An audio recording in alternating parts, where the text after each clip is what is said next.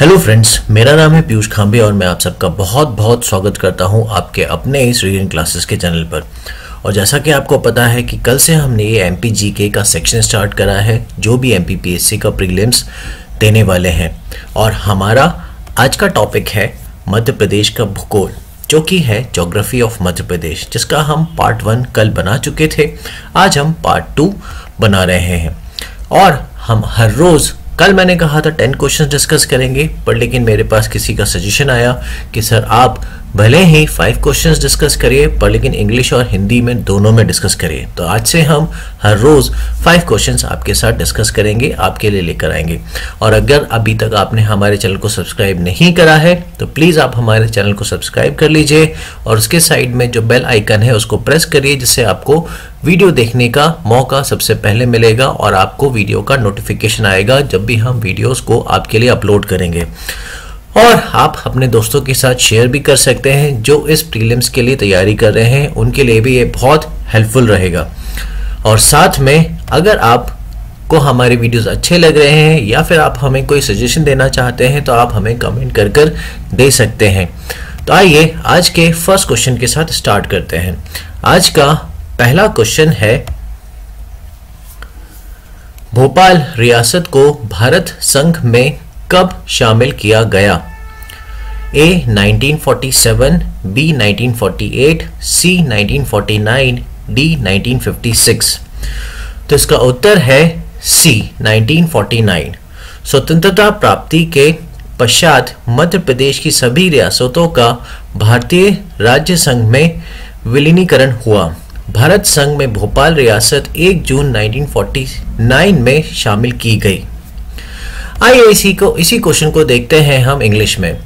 When was the Bhopal principality includes in the union of India A 1947 B 1948 C 1949 D 1956 so, the answer is c 1949 after attending independence all the princely state of madhya pradesh merged in the union of india Bhopal state was incorporated in the Union of India on June 1, 1949. Let's go for the next question. अपना next question है वर्तमान मध्य प्रदेश के उत्तरी ज़िले British Bharat में क्या कहलाते थे ए प्रिंसली स्टेट बी रजवाड़े सी, देसी रियासतें, डी, उपरोक्त सभी। तो देखते हैं इसका आंसर है डी, उपरोक्त सभी। वर्तमान मध्य प्रदेश के उत्तरी ज़िले, ब्रिटिश भारत में प्रिंसली स्टेट रजवाड़े या देसी रियासतें कहलाते थे। इनका प्रशासन अंग्रेज़ों के अधीनस्थ राज्यों के हाथ में था। इसी क्वेश्चन का देखते हैं इंग्लिश में। What was the present northern district of Madhya Pradesh called in British India A. Princely State B. Rajwale, C. Native Princely States D. All of the above So the answer is D. All of the above The northern district of present day Madhya Pradesh were called princely states, Rajwale states, or native princely states in British India. Their administration was in the hands of the subordinate kings of the British. Let's go for the third question आइए third question पे चलते हैं तो अपना third question है निम्नलिखित में से किस संघ ऑब्लिक समूह के साक्ष्य मध्य प्रदेश में नहीं मिलते ए पुराण संघ, बी आर्य समूह, सी द्रविड़ समूह, डी धारवाड़ समूह। इसका उत्तर है सी, द्रविड़ समूह। मध्य प्रदेश की भूवैज्ञानिक संरचना से संबंधित अध्ययनों के ज्ञात होता है कि मध्य प्रदेश में धारवाड़ समूह, पुराण संघ, आर्य समूह, तटीय समूह आदि के चट्टानों के साथ मध्य प्रदेश के विभिन्न भागों में पाए गए हैं। किंतु द्रविड़ संघ के कोई साक्ष्य मध्य प्रदेश में नहीं पाए गए हैं। इसी का क्वेश्चन और आंसर देखते हैं इंग्लिश में। Which of the following association of oblique groups evidence is not available in Madhya Pradesh A Puran Sangh B Arya group C Dravid group D Dharwad group so the answer is C that is Dravid group. Study is related to the geological structure of Madhya Pradesh. It is known that in Madhya Pradesh the Dharwad group Puran Sangh, Arya group, territory groups, etc. have been found in different parts of Madhya Pradesh. But there is no evidence of the Dravid Union in Madhya Pradesh have been found. आइए प्रश्न चार पर चलते हैं। अरावली पर्वत श्रृंखला मध्य प्रदेश के किस क्षेत्र में फैली हुई है? ए, बुंदेलखंड की पठार बी नर्मदा सोन घाटी सी मालवा का पठार डी उपरोक्त सभी।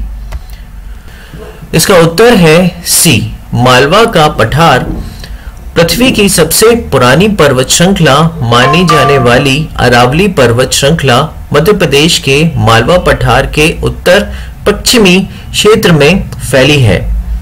इस पर्वत श्रृंखला की सबसे ऊँची चोटी गुरु शिखर है। Question number four is in which region of Madhya Pradesh the Aravali mountain range is located? A. Bundelkhand Plateau B. Narmada Son Valley C. Plateau of Malwa and option D is all of the above. So the answer is C. That is Plateau of Malwa. The Aravali mountain range considered to be the oldest mountain range of the earth. Spread it across the north western region of Malwa plateau of Madhya Pradesh the highest peak of this mountain range is Guru Shikhar let's go for the fifth question प्रश्न पाँच, वर्तमान मध्य प्रदेश की भौगोलिक स्थिति है। ए 21 degree 6 minute उत्तरी अक्षांश। से 26 डिग्री 30 मिनट उत्तरी अक्षांश। बी 74 डिग्री 9 मिनट पूर्वी देशांतर से 82 डिग्री 48 मिनट पूर्वी देशांतर। सी ऑप्शन है, उपरोक्त ए और बी दोनों। डी ऑप्शन है, केवल ए सही है तो इसका उत्तर है सी उपरोक्त ए और बी